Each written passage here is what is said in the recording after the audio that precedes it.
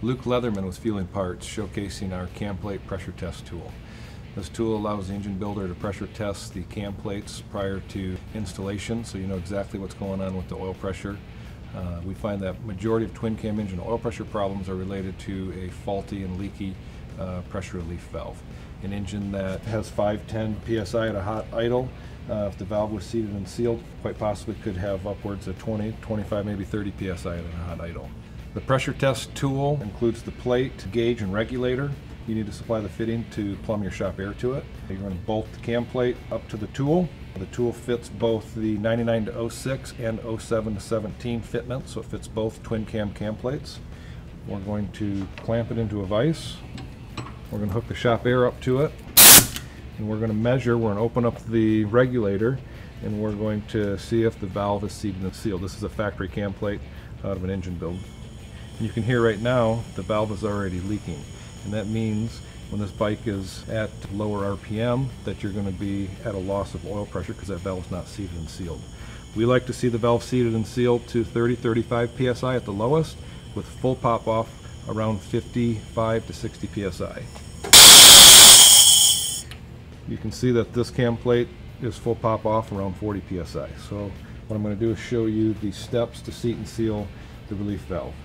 This is another tool that we sell. Makes it nice and easy to remove the roll pin and spring from the cam plate versus using screwdrivers, which majority of the time uh, score up the bore. You need a eighth inch pin punch.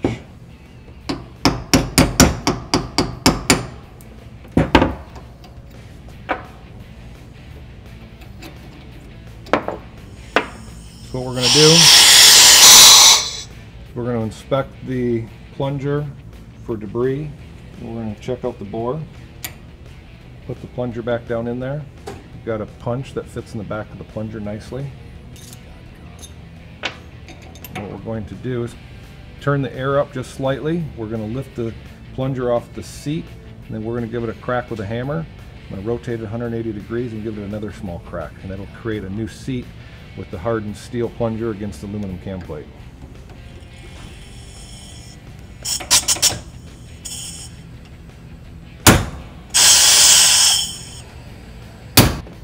We're going to reinstall the spring. And so that we don't have to reinstall the roll pin to see where we're at, we're just going to use the roll pin punch to hold it. You can see now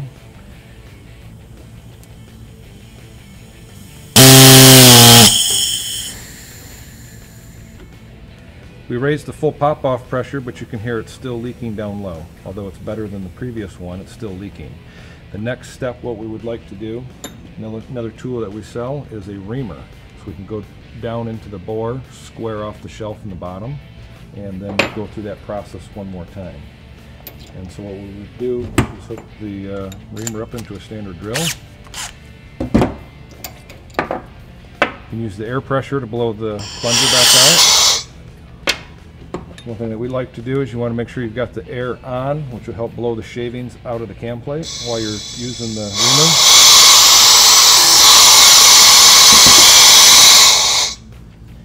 And we're going to repeat the process with the plunger, tapping it with the punch and the hammer.